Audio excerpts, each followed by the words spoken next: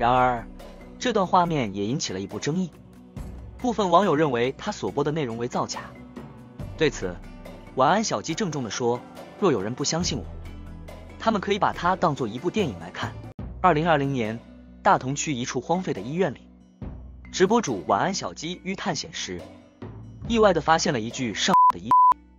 这一事件使他于众多网红中脱颖而出，一夕爆红。然而，随着他经常直播所谓的灵异事件，许多观众对其内容的真实性提出质疑。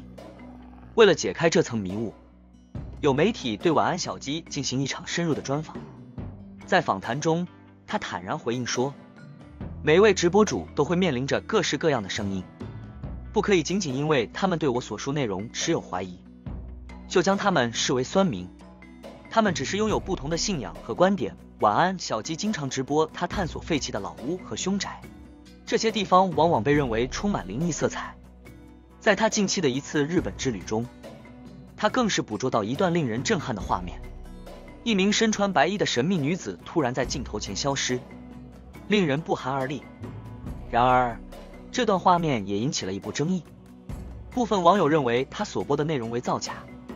对此，晚安小鸡郑重地说：“若有人不相信我，他们可以把它当做一部电影来看。”那一天，直播的在线观众高达四万人。若真的造假，如此大的场面下，非常容易出错。但是，那名女子真的就在我镜头前消失。以现代的科学角度，我也无法解释其中的原因。虽然面对着这些质疑，晚安小鸡仍然保持着开放的心态。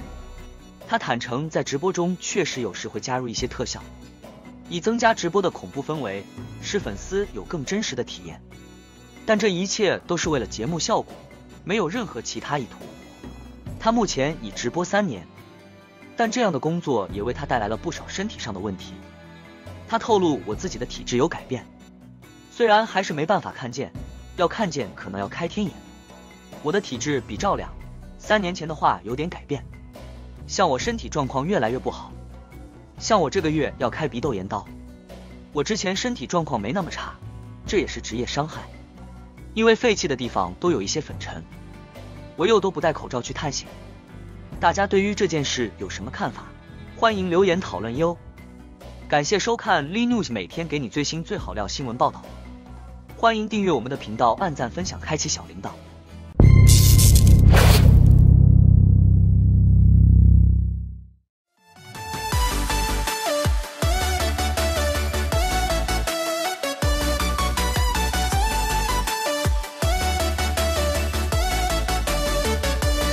如果你也想成为下一位爆红创作者，请打开下方资讯栏链接，一起来投稿吧。